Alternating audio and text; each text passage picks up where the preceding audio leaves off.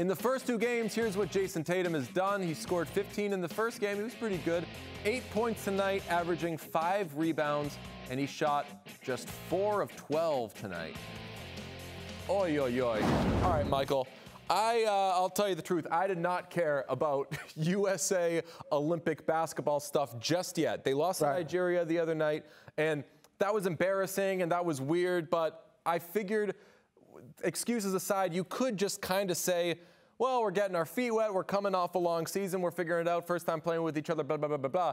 But, Michael. But losing you, Australia. When you lose a game like that, the yeah. only thing you have to do is just make sure you win the next one. Exhibition game, you're playing Australia, no problem. You're probably trying in this one tonight where maybe you could act like you weren't trying on yeah. Saturday.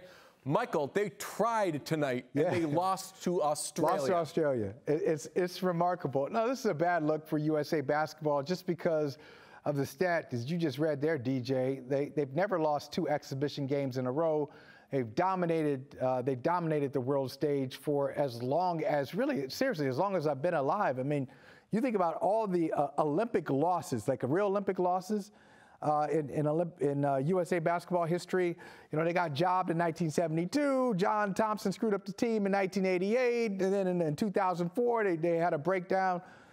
But for the most part, USA, this is just a game where, uh, or, or an arena where they show up, excuse the pun, arena where they show up and just kind of dominate.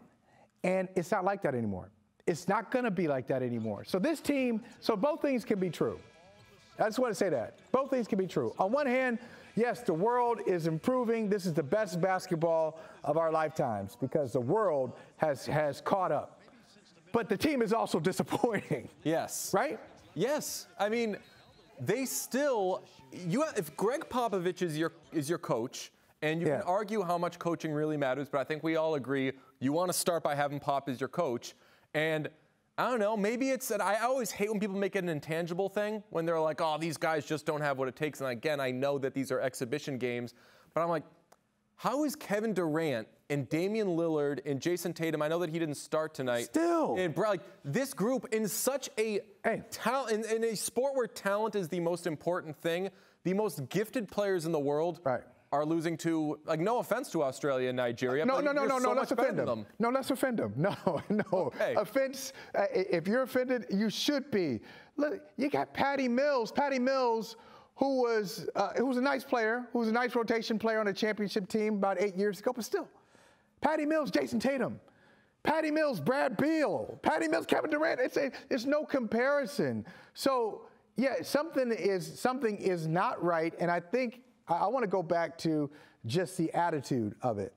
Uh, maybe maybe we've we've outgrown this notion that a team can play in the NBA postseason, take a little bit of break, take a little bit of a break, and then jump right back in and win a gold medal.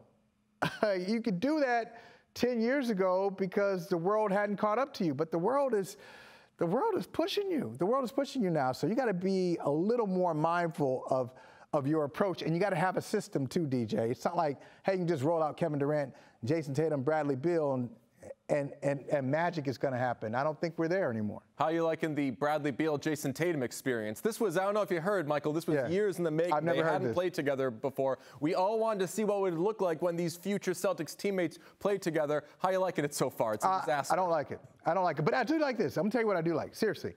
Um, even though Jayson Tatum is on the bench, uh, he was on the bench tonight, I like that Tatum is here in the offseason being humbled now with these losses, uh, being humbled with the trip to the bench, and being coached. Maybe not being coached that well by Gregg Popovich and his coach coming. Uh, his coach, Ime Udoka, is an assistant.